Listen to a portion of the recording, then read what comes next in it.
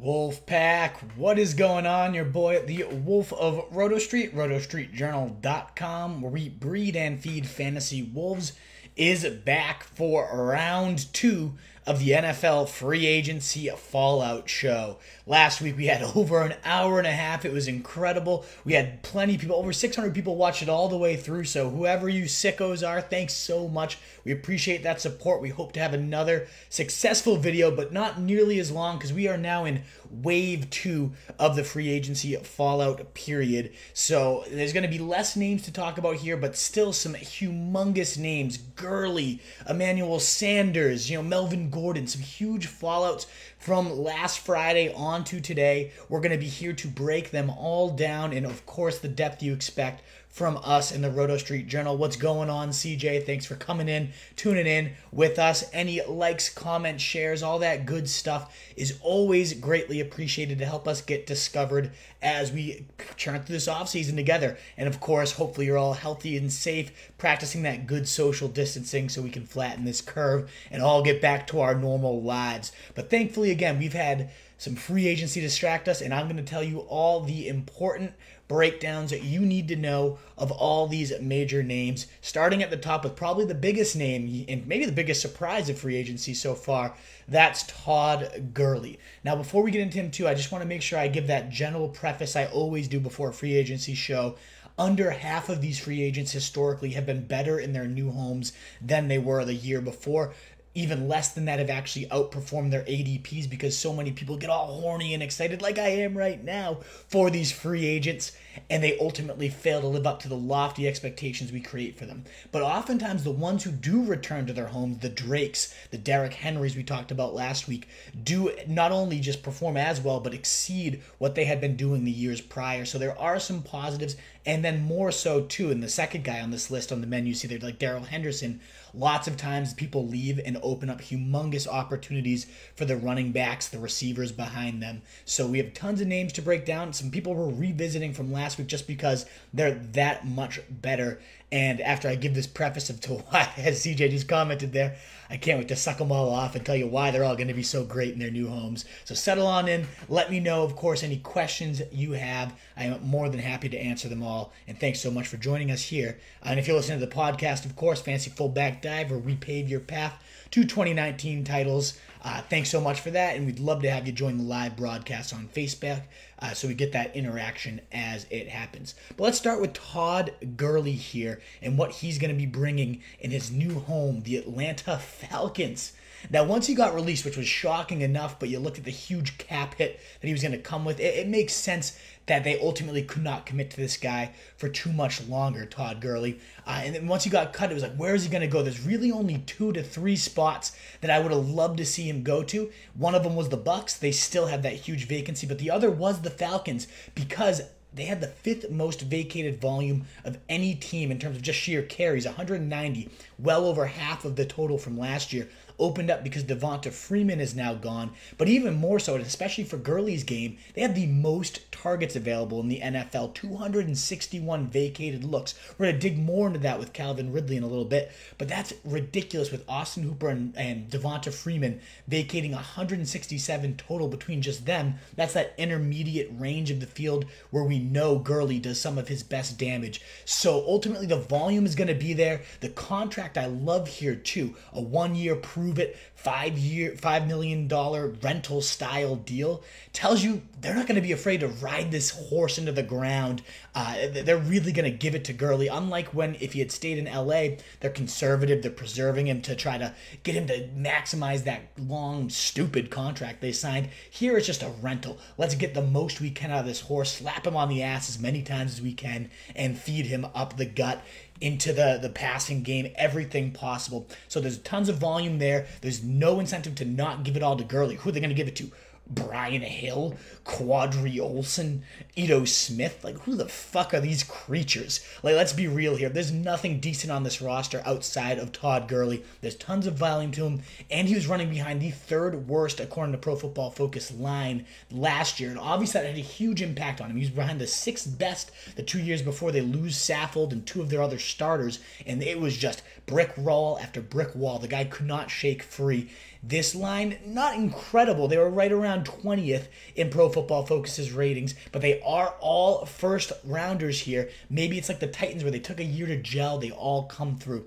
This isn't without negatives, though. It's not like Gurley's in this perfect world here in Atlanta. Won the scheme. Dirk Koetter, very pass happy. The most attempts in the league last year. And that's been the story for the decade with the Bucks, uh, with the Falcons before here.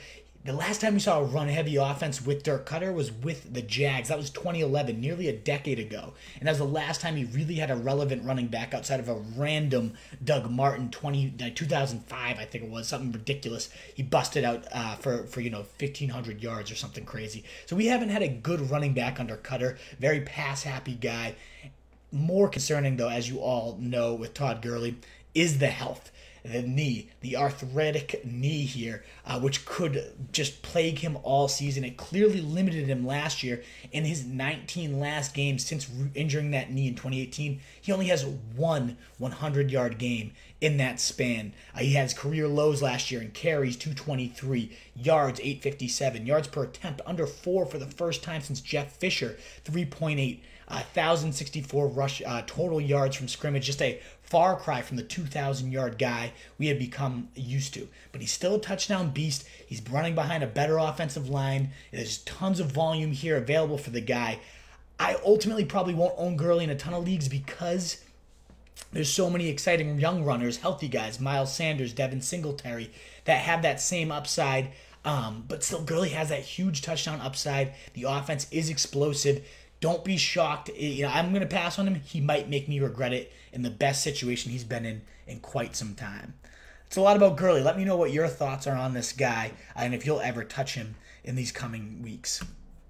Next up, we got Darrell Henderson, who's left behind here from Todd Gurley, uh, the, the third round pick last year, who Les Snead was comparing to Alvin Kamara when he was coming out. He was saying we cannot pass up on this guy because he gives you that Kamara element. We're going to regret it if we don't take him. We're going to feel it when we play against him. And they absolutely love this guy, Darrell Henderson. And what's not to love here about Darrell Henderson, so explosive coming out. I get he, you know, wasted rookie year. Let's chuck this one out of here. Uh, it, ultimately, nothing last year, and there's still no real clarity as to why. Sean McVay always so vague. But when they they scouted him, they loved everything about one the fit inside the zone blocking scheme. The guy averaged over 10 yards per carry on outside zone, and no team runs more outside zone than the Rams. Racked up 1,909 yards in only 214 carries. That's 8.23 yards per clip in college, while accumulating 22 touchdowns, the most plays of 40 yards and 50 yards over the last two years. The guy defines explosiveness. He just never really got a chance to throw it out there and show it, but compared often to Dalvin Cook by our guy Dane Brugler and many other guys for his zone instincts, his ability to put the foot in the ground and just get going. Henderson, man, he has all the talent to thrive, and here's a great receiver too for what McVay wants to do with marrying the pass and run games. But why did he only touch it 43 times? Why did he play 2 10% or fewer snaps in all but three games, never topping 43% if he's this perfect of a fit? It's a mystery, and we don't know why, but they had to have felt somewhat comfortable where Henderson was going to release Gurley the way they did. And when he did get the work, seven touches, then 12, then 13, he really started to thrive. He was averaging, you know, over seven yards per touch and starting to really show what he could do on that limited work. He forced a missed tackle on 25% of his carries. That was the most of anybody with the, the same type of workload. Not a ton of work, small sample size, but still showing that talent, uh, Darrell Henderson. Now, is it going to be Malcolm Brown? That's who they went to first. Played 67.5% of the snaps when Gurley first missed week six. Then he got hurt, and we started to see Henderson's role go up. But they first went to, to Malcolm Brown. He's a bulldozer, probably going to be the goal line guy regardless. Even still, he brings so much Henderson, more talent, more explosiveness, more upside to the table. And if they were comparing this guy to Kamara not too long ago, Maybe they still will give this guy a Kamara style role, especially with Gurley now removed from the picture. They have the, the third most, vo- or second now, vacated volume out of any team. So he's up to my running back 28. Uh, Darrell Henderson is with room to rise, assuming they don't make any more huge moves. But on a team starved for draft picks, on a team with you know t- already loaded the position. They traded up to get this guy. They love him. I really hope they finally give him the work to show because he can explode like very few backs in this league. So Darrell Henderson, make sure you're moving him up your rankings list. I see your questions coming in, guys. Don't worry, I've, I've got the mailbag on the menu. I promise to get there. Uh, but first, a sip of water.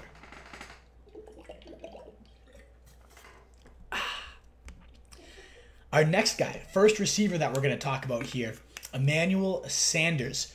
What a absolutely gorgeous and perfect fit. You could not ask for a better landing spot than the New Orleans Saints, and that's for a number of reasons. The biggest two, and exactly what Emmanuel Sanders said himself, Sean Payton and Drew Brees, the play caller and the man executing the scheme, are both still at extremely high levels, especially Payton, probably the most creative guy in the NFL right now, uh, most pass happy mind over the last decade. He is ridiculous. Brees is insane, and this offense is going to thrive with Sanders now added to it, a complete juggernaut. They haven't had a wide receiver duo like this since Michael Thomas and Brandin Cooks played together, and there's nothing that rivaled this before those two. This is the most dangerous tandem maybe they've ever had, and we've seen just ridiculous bonanzas with far less uh, at their disposal. We could really see a return of Drew Brees to that 5,000 yard, 40 touchdown style Brees. This has not been that same Saints offense over these last few years. They've been much more run heavy. Uh, they've gone from, let me pull out the stat here real quickly for you guys. Um, over the, the first years, um, until 2017, the Saints had ranked top five in pass attempts in 10 of 11 seasons under Payton. The one time they weren't was 2009 when they actually made it to the Super Bowl, won the Super Bowl that year.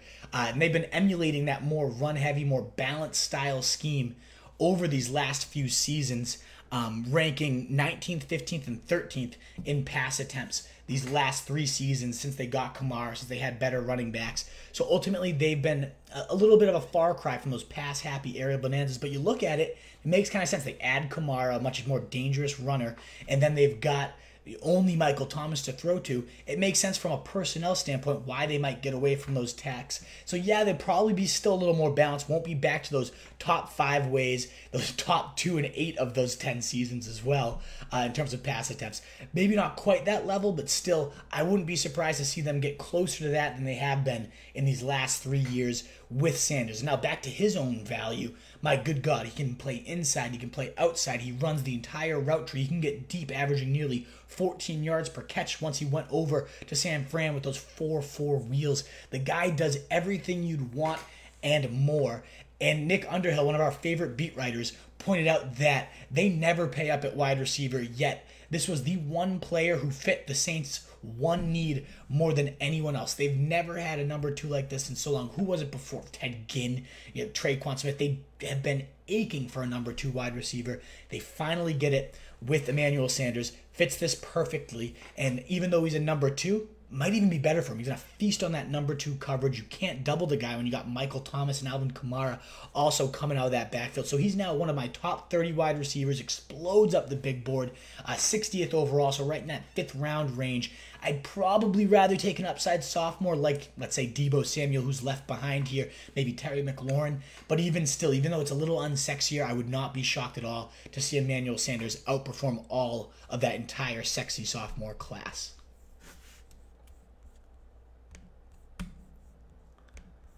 Speaking of sexy, not longer sophomores, but now we're talking about juniors, third year here in the system. That's Calvin Ridley, who I'm labeling right now the 2020 Chris Godwin. The hype's going to be unreal. Everybody's going to love this guy. He's going to go price out of the world in the round four and then he's going to outperform that by two to three rounds because he's going to be an absolute monster this year. Why is he going to be like Godwin besides seeing a lot of hype, besides uh, being that guy everyone wants? Is the fact that they both are in very pass happy attacks. Uh, Bucks were number two last year.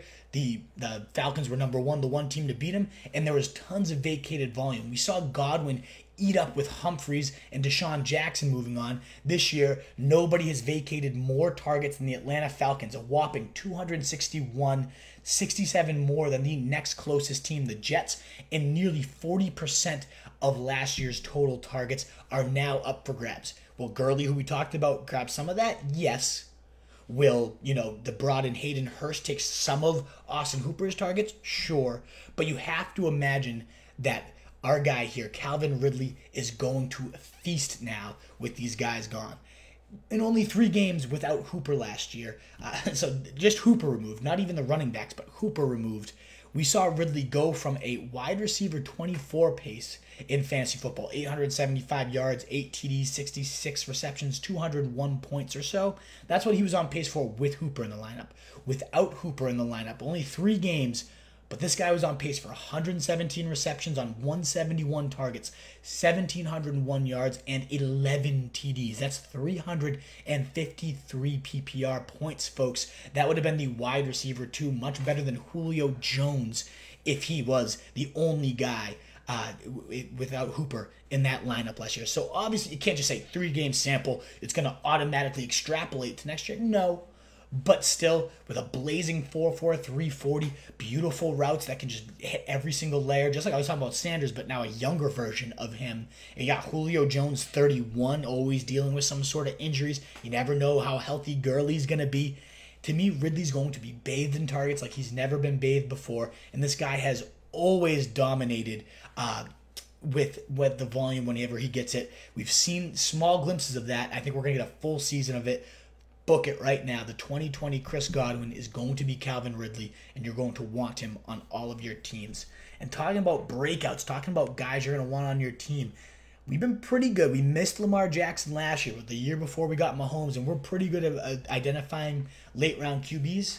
About to deliver you the next cheat code for late round price. Yep, that late round cheat code QB gonna be Teddy Bridgewater in 2020. I just spent uh, a ton of time digging in earlier this offseason to Joe Brady's offense. I know we hinted at this on the last podcast. So, what's changed, or what can we summarize or, explain a little bit better here? Well, Joe Brady comes from LSU, and anybody who watched any shred of college football is well aware of how this entire offense just absolutely exploded. Let me cite these stats for you real quick. I didn't have them last time for you, so just hear how insane this is. LSU went from 69th in scoring and 65th in total passing to then first in the nation, the most prolific offense of potentially all time, going to an insane 568 yards, 48.4 points per game, and only behind Washington State in passing, and that was 401.6 yards per game per game. Just a ridiculous onslaught of offense after again 69th to tops in the nation and historic paces. And who benefited the most? Joe Burrow went from 2,777 yards to nearly doubling that, going to 5,671 and 60 TDs after chucking um, you know, what was it? 25 the year before, 44 more TDs in a single season. Just a ridiculous, ridiculous, again, almost 3,000 more yards and almost 44 uh, and 44 more touchdowns. Ridiculous leap because this offense is so quarterback friendly. It's all about getting its weapons in space, quick strikes, inspired by the Saints. And where does Teddy Bridgewater come from? Where does he play these last two years? But the Saints. Joe Brady was with him. He coached Teddy Bridgewater. He was huge in his development, catching him up to speed. So obviously, he already knows the cerebral nature, the student of the game that Bridgewater is. He already knows that Bridgewater can operate the system quick strike, rhythmic passing, precision, getting it out into tight windows, anticipating the throws. That's all Bridgewater's strengths. A lot of people, oh, well, he can't throw the deep ball. He's, you know, 6.8 yards per attempt, is third worst over the last four years. I get it. The guy doesn't like to drive the ball too deep, but you got to unpeel that and look a little bit deeper here as to what throws he succeeds in. Those are the quick strike, high percentage, which his offense thrives. And even more so, he can sling the deep ball, but he's so much better at the anticipation deep balls, the, the hitches, the ins, the outs. That's what Brady does. It's not about go and flies, and that's where Bridgewater kind of does suck. I'll give it to you. He doesn't drive that ball deep down the field and go for one on one jumps like most others do.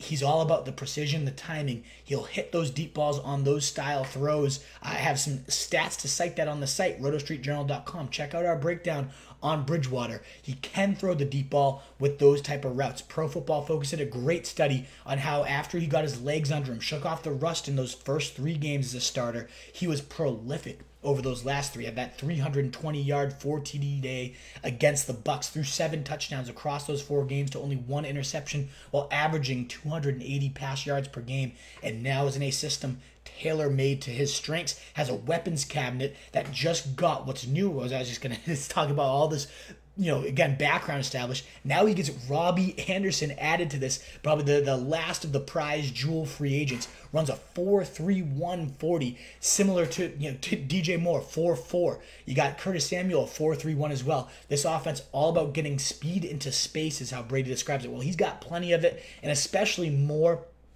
And uh, and Curtis Samuel, very deadly with the ball in their hands, almost like running backs, extensions of the run game. And of course, how, could I not forget Christian McCaffrey, the all world MVP style player here, deadly with the ball in his hands and in space. So, between the weapons, the system, everything about it, I'm telling you, I'd rather have Teddy Bridgewater next year than Aaron Rodgers and nearly every other QB. He's top 12, in my opinion, a QB1 who I'm all about next year. Let's hear what you guys have to say so far. What questions, comments, everything you guys got. I'm going to pull up the fallers so you can see it, but I want to address anything you guys are bringing to the table here. Um, Blum Blitzkrieg with Gurley, says Nate Shaw. Absolutely. Ram that guy in, run him to the ground. I, it's crazy he's only 25, as CJ says. Uh, it's, it's insane. He has the knees of a 65 year old. That's the risk with him, of course. Uh, it's definitely far from a guarantee that this guy's going to eat and dominate it. But man, uh, he's, start, he's still in that situation. Tons of volume, tons of TD chances. I would not be surprised to see the best system yet. No mention of Adam Schefter giving us the inside scoop. I, you're, you're right, CJ. I should have. He said that they loved him more than any other player, the most explosive offensive weapon they identified in the draft, so they had to trade up and get him. So you're right. A very fair point to bring up here. Love the Panthers' weapons, but don't love it for Robbie Anderson. You're almost transitioning like segue, as if I paid you to say that. So yes, uh, I don't love it either. We're going to talk about this uh, in a second, CJ. So hold hold tight, hold your horses. We're going to get there. Kyle Toons. With the Patriots not having Brady, the offensive line back healthy, as well as a couple fullback, how much would you put stock into Sony Michel? I just don't love Sony myself, Tunes. I, I feel like he's had his chance and he has yet to wow us other than that you know, great playoff run. But those holes were gaping. They lose Dante Scarnecchia this offseason, which is huge for that offensive line. I can't say I'm a diehard Sony Michel fan. He's one dimensional. He gets all the receptions taken. What if you know Harris has a bigger role this year, who I like more as a pure runner? I don't love Sony. He's not he's not in my you know must draft list by any means. And most of the time, I'm probably not going to be getting Sony uh, in draft tunes.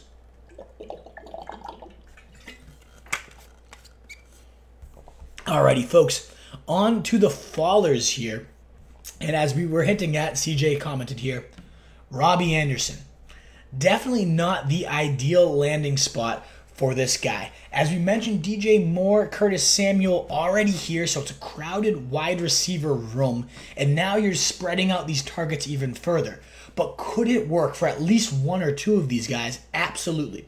We talked about Joe Brady. He's all about getting at least five wide receivers or pass catchers, rather. Could be the running backs, tight ends, but he wants five routes out on every single play. He does minimum protection. Only five linemen never holds his tight end in, so he can get all these guys out into space for these quick strike throws. So it fits the offense to have another deep, you know, speedy crazy wide receiver weapon to take the top off these defenses. He needs that style guy so that underneath game is opened up. So Anderson fits it perfectly. He's going to be able to stretch safeties, open up the down underneath game for DJ Moore, for Christian McCaffrey, for even Curtis Samuel to do their damage. So it's a great win for the offense as a whole for Teddy Bridgewater, as we just talked about operating this scheme. It fits an enormous need. Uh, not need necessarily because they have the deep speed already, but it gives you just another weapon to stretch everything out, uh, get those safeties playing back. But for Anderson's own value himself, man, uh, could he have gone to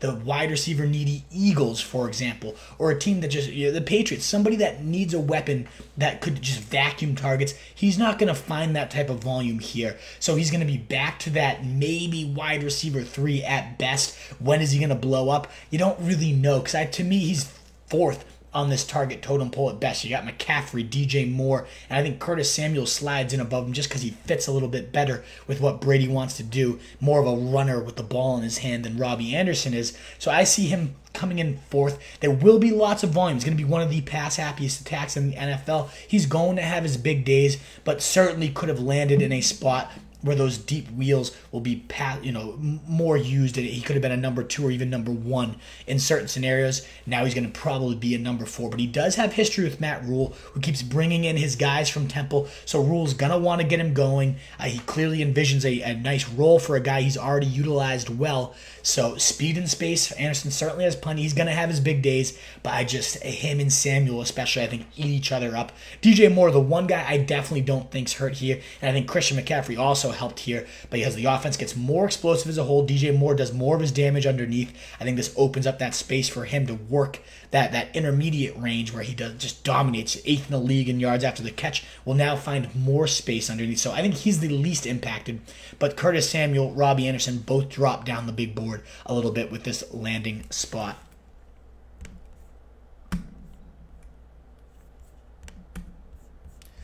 Next up, my next faller. And how far he falls is debatable, but Melvin Gordon, far from the ideal spot here, at least at initial glance here, with the Broncos. They ranked 28th in scoring last year, 17.6 points per game. Nine of their games under 16 points. Just a dreadful overall offense last year. The line, middle of the pack. Pro Bowler, back to back 1,000 yard rusher, and Phillip Lindsay already on the roster. Certainly, there were some juicier spots the Bucks, the Chiefs, places where Gordon could have gone, even back to the Chargers, where he would have been closer to a top 10 running back, whereas now he falls to more of a running back 16 17, in my opinion. Still an RB2. And why do I like this? Why is it not just a pure ew for all the reasons I just suggested? One, Pat Shurmur is the definition of a bell cow breeder, their new offensive coordinator that they brought in. In 11 of his 12 years as a head coach or offensive coordinator, Shurmur's attempted to ride a singular workhorse in eight of those 11 seasons. Some of those misses, AP got suspended without a backup plan. We all know what he was fucking doing. Uh, Chip Kelly was more of the play caller in his Eagles committee. You got Peyton Hillis injured all year at the Browns. So most of those disgusting you know, committee-based scenarios had a reason.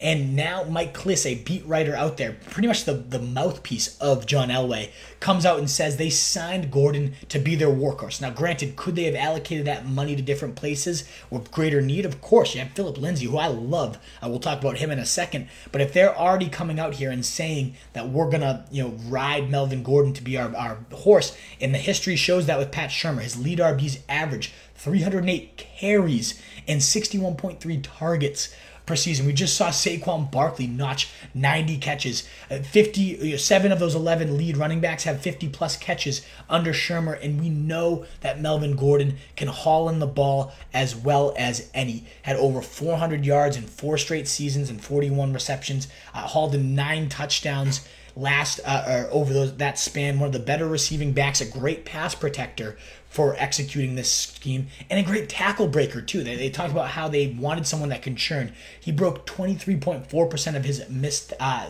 the tackle attempts on him, which was tops in the league.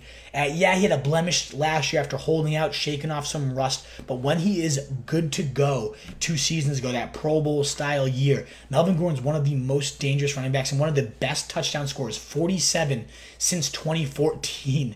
Uh, 36 rushing and 11 receiving. So gets it done in every facet. A true three down horse was the running back seven, running back five, and running back eight heading into this season. Wouldn't be shocked for another top 10 campaign. And this offensive line last year, I said middle of the pack. They were number 12, though. He goes from the 31st ranked offensive line and even worse in run blocking, dead last in the Chargers, to now the 12th ranked line. Mike Munchak, that line coach, really helped them take a next step uh, the Broncos offensive line. And that last year 12 ranking was without their prized free agent acquisition, Ja'Wuan James, who was nasty when he was in there. Only three games though. They also go out and pay 44 million to get arguably the best interior lineman in Graham Glasgow, one of the best on the market still out there. Uh, they went out, made sure to get him rock solid potential offensive line. Maybe takes another step forward this year with returning some great starters and adding this beefy new talent. I love the line, and Drew Lock went four and one, led two of their highest scoring games on the season. Uh, so we, we'd like to see Drew Lock again, a, a, quality starter. Maybe he ignites this offense, takes them to a full season of more explosive numbers. So there is the potential for a top 10 campaign. They might do more of a one-two punch with Lindsay, despite Shurmur's workhorse ways. We don't know necessarily. So the initial gut reaction, disgusting. You unpeel it a little bit, and there's still a lot to like here with Melvin Gordon. I'd rather have him than let's say Todd Gurley, who's a more clear-cut workhorse, just because I like the younger, fresher guy in a system that's not quite as ugly as you might think at first glance. The guy who undoubtedly falls, though, is definitely Phillip Lindsay. Takes a huge hit, and this one's kind of obvious. We don't need to dig in too deep here. But a guy who goes back to back thousand yards, uh, season, you know, over 250 touches, back to back years is going to struggle to see that type of volume with Melvin Gordon. He's clearly going to be the number two, at best a 1B, and inconsistent usage is going to make him very difficult to trust on a week to week basis. All those things I like about Melvin Gordon, the three down system, the you know the improved offensive line, Drew Lock maybe making it more explosive, can and should help Lindsay when he gets those touches, but ultimately they're going to be far less dependable. You're not going to know when they're coming. Ultimately, I don't like this at all for Phillip Lindsay. Uh, except for the fact that Melvin Gordon does have a pretty extensive injury injury uh, history here. So Phillip Lindsay might ultimately become a workhorse at some point, and we know he'll thrive if and when that happens. He's going to clearly be motivated. The team's not showing him the respect he deserves. I just don't see him getting close to enough volume to be dependable on a week to week basis. And the last faller here is Darius Guice. Why? They only did what? Signed Peyton uh, Peyton Barber and J.D. McKissic. Ooh, not those two. But it just is reaffirming. You now have AP brought back. You bring in those two again, little talents, but this is crowded. This is a logjam. And if they had faith in Darius Guice, why would you bring in four other guys to compete and potentially steal work from him? Now, I like the Scott Turner system. It's more of a workhorse base. It's about a power runner, and there's very few out there that can run the ball as powerfully as Darius Guice. We saw those brief glimpses when he was healthy of that, what, 130 yard day. Uh, and only 10 to 15 touches. He can get it done. I, I love the talent but he's only lasted. He's never had more than 40 carries in a season. He can't stay healthy, and clearly the team has no faith in him, bringing in these plotters to, to potentially back him up and eat work and try to keep him fresh. And to me, a gross offense as a whole already now has a logjam position. Why are you going to target that backfield? The line is decent but ultimately, I don't see any type of reason to get into the running back market of the Washington Redskins. So, as much as I love the talent, to me, it just does not seem like it's going to be unleashed this year. And now let's get back to your questions. And I've got a few questions I want to ask um, you guys. So I'd love to hear your feedback on the questions that I think remain here in free agency. But let's get to your mailbag, and then I'll pull this up uh, so you can see what those questions are. Where did I put them? Remaining names and questions. Up, I guess. Those didn't save. Whoops. I'll pull those up real quick and I'll get to your questions in one second, folks. Thank you.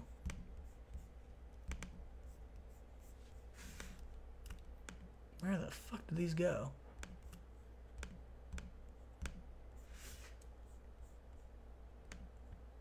I definitely added these earlier. Alrighty. Well, here we are. Now you guys have them. Alrighty, so that's for you guys to see. Let's get back to your questions and comments. Love, alrighty, with the Patriots, we just answered that. I do like Harris too, but I'm worried about Belichick waiting on younger backs. This might be a whole new offense, though. It's, uh, you know, Stiddy taking over. Um, I think I have Matt Ryan at QB nine right now, QB seven, something in that range. Uh, I have him, I do have him above like Deshaun Watson or, or so, um, but I'd rather have Kyler Murray I'd, I'd rather have, you know, obviously Mahomes, Lamar Jackson. But it is, again, they led the league in pass attempts. He now has a dangerous backfield outlet. I do think losing Hooper is going to hurt in the red zone a bit. Uh, Matt Bergstein saying, um, I have DJ Moore my keeper, and I think Anderson going that doesn't hurt DJ at all. Could open up the offense more. That's yeah, that's what I was kind of hitting at Bergstein. Him getting the the defensive safeties, pulling them back to give DJ Moore that time to roam underneath and really dominate. Over eight, uh, he was eighth in the league in yards after the catch, and now should find even more space. Those two don't overlap as much as I think Curtis Samuel and Anderson uh, do. So yeah, I think it does open things up uh, for DJ Moore. If Brady has a brain, which he does. He'll use Samuel or use at OSU underneath and quick stuff. Could eat. So yeah, I, I mean, it's I, I, do think Samuel fits this offense really well too. To me, uh, it goes DJ, it goes McCaffrey, DJ Moore, Samuel, then Anderson. But Anderson fits that role so well at, terms of stretching the field. I know it's early, but where would you see K Drake going this year in fantasy? I have him tunes at running back uh, 12 and or maybe even 11 and he's 13th overall on my big board. So right at that first, second round turn, the guy was the running back four in fantasy, uh, and even running back three after he got traded to the uh, to the Cardinals. There, an absolute perfect fit. They were able to get rid of David Johnson too, so it just further secures that workload. Not that he wasn't the horse; he played over 70% of the snaps in all but one week with the Cardinals. And again, the running back three in fantasy, only Derrick Henry and Christian McCaffrey outscored this guy after he became an Arizona Cardinal. So he fits what they do perfectly. He's a great slashing style runner, but even better as a receiver. So I love Drake. I think he's going to, again, monopolize the, the 15 to 20 touches a week that he saw last year. Uh, and I think, again, he's, he's going to just eat it up. Um, so I'm all about Drake, especially if they make some offensive line improvements. And the fact that they get Hopkins only takes away pressure from the guy, stretches the defense even more, um, and, and, gives him more chances for touchdowns. They love to run it in the red zone. We saw those four touchdown days from Drake. I, I think he has more of those multi TD days and could even be better after that RB3 performance. What are your thoughts on Chris Carson? Do you think he bounces back from the hip? Asks Daniel. And great to see you, Daniel. I'm glad you, you tuned in and found us, a, a loyal Wolfpack uh, member there. I do think uh, it's tricky. It, we got to see here. One thing I do love is they did not add any of these big, beefy free agent runners. You know, Pete Carroll loves to stockpile his running backs. Uh, so the fact that they didn't add those initially has me excited, Daniel, that it, he must be coming along well in his recovery. We'll have to see what happens in the draft here. Are they going to add another power style back to compete with him? I, I don't know yet, Daniel. We'll, we'll find out. If he's the guy, though, I mean, what's not to love after last year was top seven throughout the entire season, was just so consistent, too. One of the run heaviest attacks. I think they stay that way. Although I will say Schottenheimer uh, and Pete Carroll, especially, has come out and hinted maybe we get a little more explosive. Maybe we unleash Russell Wilson a bit more, give him more control at the line of scrimmage, similar to those Mahomesian led offenses. We know Wilson's at his most dangerous in comeback Russ mode. Uh, when they finally, he kind of bails this offense out. They run heavy, disgusting for three quarters. They get behind, and then they unleash Wilson, and he just balls out through the entire fourth quarter. Imagine we see that all game. So that might take a hit to Carson, although it also might give him more touchdown opportunities if we see a little bit more of a high octane, no huddle style offense. Could be even better in that type of situation, but it all comes down to health and what do they do in the draft. And I'm obviously not a doctor if I'm doing this shit. Uh, so I don't know what his hip situation is. There hasn't been any reports lately on it. Uh, so we have to just wait and see how is he recovering. That's a brutal injury to come back from. So we'll see. But again, a, a great fit, obviously, with a top 10 running back. And I don't see why he can't do that if he's healthy and still pegged for the same role. So I hope so, Daniel. Sorry I signed on late and missed the Drake comments. So that was from last time, uh, Tunes. That was last uh, podcast, so you didn't miss anything this time. Uh, thank you, Matt. I appreciate that. Content's killer. Kind words. That's why we do it. Is that the fans like you guys that come back and, and enjoy and interact with us. We love doing this stuff, my dude. So thank you so much. I appreciate your kind words. Uh, Toonbergs. With Rivers and Indy, who benefits the most? I love that question, Tunes. You're, you're asking the, the money one, so keep them coming all night. To me, it's a sneaky one. It's actually Nyheim Hines, I think. I, I, discussed this last broadcast, but I'm happy to reiterate it because I absolutely love this guy next year. I actually called him a potential top 15 PPR running back. You look at him, and I don't have the stats out in front of me right now, uh, but we saw Danny Woodhead have a 90 catch season, 78 catches. Austin Ekeler almost a thousand yards and 90 catches. Rivers just loves peppering his running backs. Over 30% target share last year, and consistently in four straight seasons has been top five at targeting that position. And Nyheim Hines already has a 64 catch season under his belt. Uh, he's one of only like 30 running backs to have over a thousand receiving yards across his first two years to go with you know over 100 catches. So the guy can get it done. He's already flashed those chops. We know it's a staple of the Frank Reich team to use that running back, and now he has the QB that loves to pepper the position most. So I think by far. Uh, it's Nyheim Hines that benefits the most. I think Rivers himself, behind a better offensive line, also benefits. You know, T.Y. Hilton doesn't hurt to get a better quarterback than Jacoby Brissett. That deep ball does seem a little scattered these last couple seasons, so I'm not in love with it uh, with Ty, but I think Nyheim Hines, one of the best. Where do you rank Jacobs among running backs? Asked Danny Howland.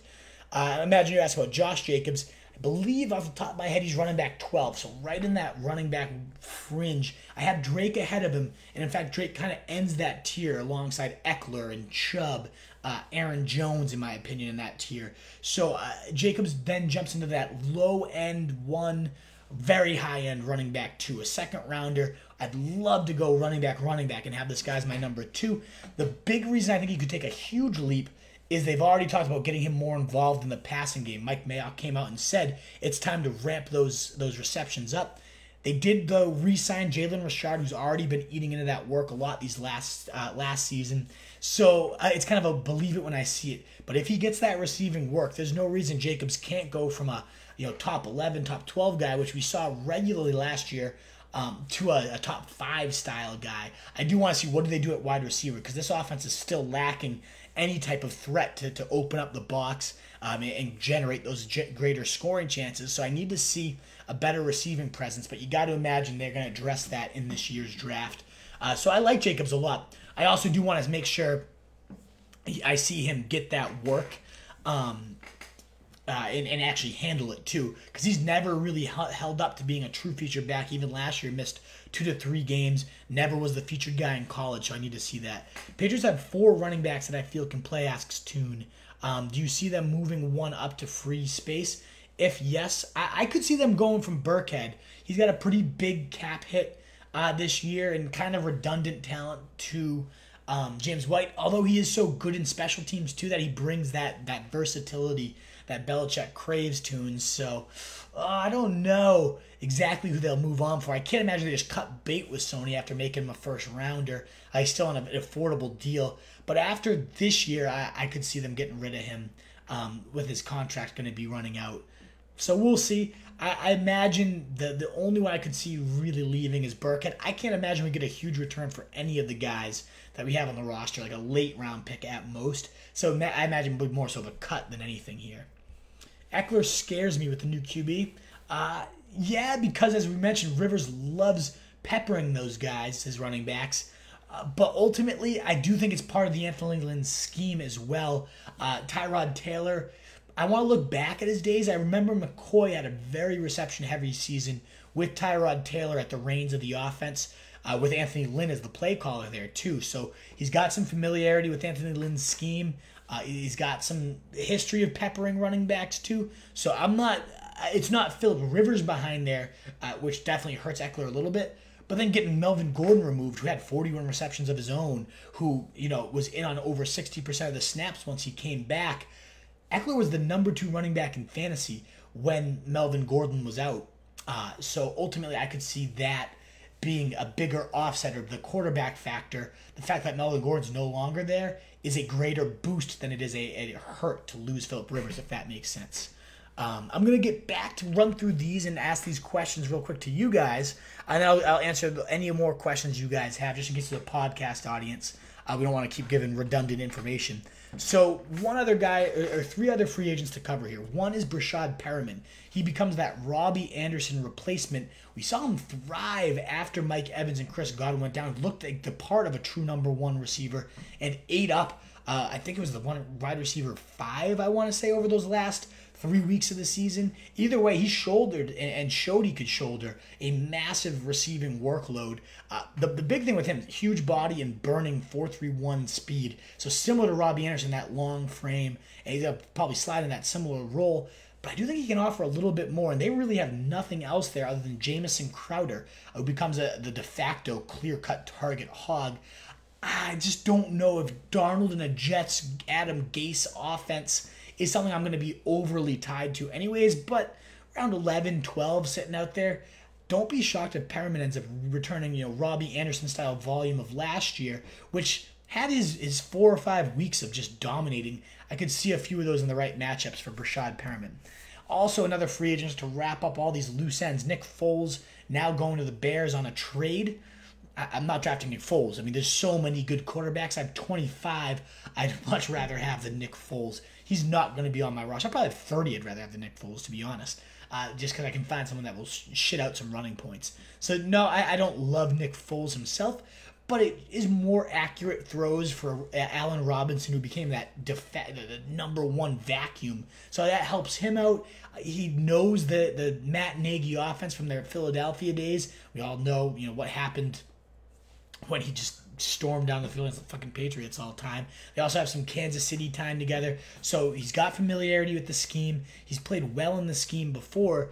I, I just don't see him consistently returning value here. Uh, and last but not least, in terms of names, but Devin Funchess is going to the Packers. Who gives a fuck? One, Devin Funchess sucks. Got hurt last year, so we don't really know. He's a big body, so he might win a few jump ball TDs. But two, what number two wide receiver do we ever care about last year on the Packers? MVS sucked. Geronimo Allison blew. There's nobody worth owning as a number two receiver because it's a run heavy attack. It, a lot of the passing game gets funneled to the running backs there too. So it's all about peppering your hog, Davante Adams, making sure he just gets look after look after look. I don't think there's going to be nearly enough volume to make Devin Funchess viable this year. Now the questions I want to ask you guys, and feel free to comment and answer me here. One, what are the Bucs going to do at running back? They still have that gaping need. Is Ronald Jones actually going to be the answer there? That'd be pretty damn scary if so. I can't imagine a, uh, a scheme with Tom Brady being there that's historically so reliant on running backs actually going in with Rojo, who's a average at best, probably below average pass catcher and a horrendous pass protector. Uh, that's gonna he'll never last on the field with Brady back there. So ultimately, I expect them to make a move at running back. Hopefully, they draft a big three down horse who would be a low end running back one because this offense is going to put up points because Brady's going to pepper whoever it is back there. Maybe they take uh, the LSU guy and uh, Claire Edward, whatever the fuck's name. I can't even think of it off the top of my head. Uh, but monster receiver would be a beautiful fit in round two uh, for this offense. Maybe Cam Akers, another great receiver, big play threat. Uh, I can see those guys thriving there. But that's obviously something you have to monitor there. The other thing that you got to monitor moving forward in this draft is are we going to get any running back competition for some guys who avoided free agents that I didn't expect to, like James Conner, still unscathed top of the depth chart there for Pittsburgh. We know they love their workhorse. We know Conner's been a top five back there before. I thought they were going to definitely make a big investment at running back because it's such a huge part of their offense, and he's been so unreliable. I mean, last year, what did he make it through two full games? He had like 18 different injuries. What the fuck? So who knows what's going to happen there? But for right now, it's a vote of confidence. We'll see what happens in the draft here. But if he continues to be unscathed there, uh, James Conner could be a monster value in a rebound potential situation. You got to also wonder what's going to happen with, say, Raheem Mostert blew up, so five touchdowns across the playoffs, nearly 400 yards in three games. Uh, the guy was a monster for this team. Great, perfect fit for the one cut and go with that 4 3 speed. Uh, monster vision as well. Just became a revelation in that Shanahan zone blocking scheme. Was a top 10 running back once he took over. Seems to me like they're going to let him again be that number one guy. They haven't added anyone else yet, so keep your eyes peeled on those two backfields and what might happen uh, moving forward. And last but not least, I have one other uh, question I wanted to ask there, and that's lingering quarterbacks. Where's Cam Newton? Where's Jameis Winston? Where are these guys going to go at this point? Who's going to be the quarterback for the Patriots? Either, it's going to be either of those guys because they both have talent. I mean, Jameis Winston led the league in passing last year. Cam Newton is the most dangerous dual threat when healthy. Those guys have the potential to be fantasy forces, but where are they going to end up? Is one going to go to the Chargers? Is someone going to end up in Miami? Will either end up in New England? I have no idea. It's definitely a storyline to follow. Alrighty, folks, those are my questions. So please let me know what you think of them. And also, let's get to your questions here. Daniel Hallen, am I crazy or does the CMC scare you? New coach, new QB? Daniel, Are you really scared? You are crazy. That is ridiculous to be scared of Christian McCaffrey, and I'll tell you why. One, Teddy Bridgewater is a far more accurate passer than anyone Christian McCaffrey has ever played with. The anticipation throws, the underneath routes. Teddy Bridgewater loves checking down, and there's not a better check down weapon in the league than Christian McCaffrey. Number two, Joe Brady is all about getting his weapons in space and versatility. He's going to scheme up. You saw what he did at LSU, I hope. Uh, one of the most creative, innovative, the next wonder kid, I like to call him, in the NFL. I think his offense is going to take the league by storm. He comes from the Saints system where they thrive on using running backs in the passing game uh, and those quick routes. Think about Kamara and all the unique route concepts that guy has thrown at him. Christian McCaffrey's that much better than him. So, no, I think the offense takes a huge step forward as a whole, which means more touchdowns for Christian McCaffrey. I think he gets similar receiving usage. I do think the, the carries go down a little bit, but ultimately, I think that's offset by being in a more explosive, I think he's a, a style attack, more touchdowns, just more overall efficiency. I love Christian McCaffrey. I think he's a beautiful, perfect fit for any offense, but especially this one. So, no, I am not scared at all, Daniel Howland. How do I feel about Josh Allen tunes? I love that question because I love Josh Allen. I have him above Matt Ryan, you asked about earlier. My quarterback six this year, right now, Josh Allen. Already, I mean, he was quarterback six last year, the number two quarterback from week seven on, where they finally decided to uncork it, go 11 personnel, three wide receivers. And that was when they had nobody to really throw to. John Brown, Cole Beasley, both solid, but no true number one. Now you give him Stefon Diggs, the definition of a true number one. Uh, many people consider him the best route runner in the game. So you give him that type of personnel to just operate what they were doing the second half of the year to perfection. And he was already the quarterback too. We know the rushing upside. Uh, you know, led the league in rushing touchdowns in back-to-back seasons. He's going to again be a good threat for six to ten scores on the ground with now better passing options. Uh, his deep ball is obviously he's got the cannon arm, but it's been hideous. His accuracy on the deep ball has been awful, but he gets one of the best ball trackers and best deep weapons in Stefon Diggs. Led the league in deep yardage and deep touchdowns last year. So if that even helps him take a, a decent step forward in his deep passing game, look out. The guy could be the top quarterback in fantasy. So I love Josh Allen this year. I am all about him. 2020 rushing champion. Are you saying Ronald Jones who are you saying? My guess is obviously Derrick Henry for the 2020 rushing champion. Uh, if not him though, I love Nick Chubb, especially if Kareem Hunt somehow shakes out of there. I think Nick Chubb is going to eat in Kevin Stefanski's running scheme. Chargers likely going to go Tyrod and a rookie. That's the report, CJ. Uh, that they said they're happy with the guy, but if Cam Newton and or Jameis Winston are going to settle for you know cheap one year prove it style deals, why not at least get him in there?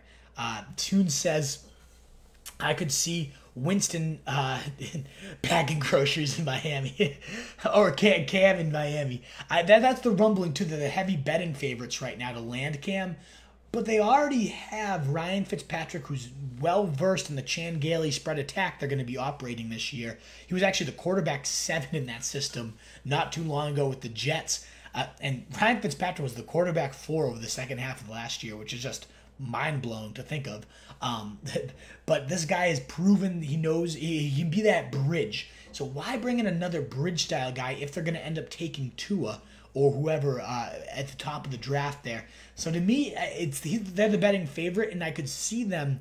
Uh, potentially fitting in Cam Newton, but this is a spread offense about you know quick dinking and dunking, Chan Gailey style offense. I don't know that I love that fit. Feel like Miami will just yeah, I agree with you. Um, uh, Chris, although your spell, spelling of tutoring is horrible. Corey Wilkes, what round are we taking Brady? Uh, he's elevated to my quarterback uh, seven, right behind Josh Allen, right behind Drew Brees, who I think jumped up now to my quarterback four with Emmanuel Sanders offered there. Um, so I, I, like Brady though so much in this Bruce Arians, no risk it, no biscuit attack. Now looks like an odd fit on paper, but they've talked at length about since Brady got signed about how he the big reason he joined there is he's excited about the Arian scheme. He talked about how he watched it for years and years with Carson Palmer operating it and how he got excited about his potential to operate. He, he cited all the concepts and routes. Brady's clearly been doing his homework and he said he wanted to go there. So uh, to operate the scheme. So clearly Brady, and I think you know everyone his deep ball is not good enough. He can't sling it down. Still there. Um, where do I rank Bridgewater? Great question, Daniel Howland. Um, We back? I hope so. Let me know if uh, if, uh, if those are running. But uh, I, I rank Bridgewater at QB 12. I like that question. But uh, Corey, if you're still there, Brady, my QB 7. The, I mean, the weapons, what gets better than Chris Godwin and Mike Evans? I, I imagine they're going to make a backfield move, move there. OJ Howard, an explosive option outside um, uh, at tight end there. It's just the weapons, the system. Jameis Winston threw 5,030 touchdowns.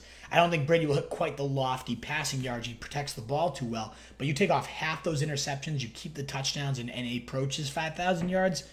It's going to be something special. So I'm all about it. Um, where do I rank? Uh, I already answered that. Bridgewater, my QB 12, but he's going to go a lot later than that. He's going to be my number one locked in QB 2. I take in every league, Daniel. Um, I see Cam there and getting Tua. He learns the running game. Yeah, I see that too, Tunes. I think that's a, a good call there. Alrighty, folks, I don't know if this is frozen, what the fuck's going on with it, uh, but ultimately, if you're tuned in, I appreciated it so much. Good interaction, as always, with you guys. Thanks so much for asking the questions and keeping them coming and sticking with me for an hour show. If you're on the podcast, Fantasy Fullback Dive, we paved that path to 2020 titles. Thanks so much for listening. If you haven't already reviewed us, it means the world to us to hear it. And if you don't follow us on Facebook, Instagram, Roto Street Journal on both, Roto ST Journal on Twitter, and me personally, Roto Street Wolf on Twitter. Would be happy to interact all day uh, about fantasy football, especially right now. What else do we have to do? Just talking football. Uh, so thanks again, guys. Greatly appreciate it. Um, and let's let's catch up again. See ya.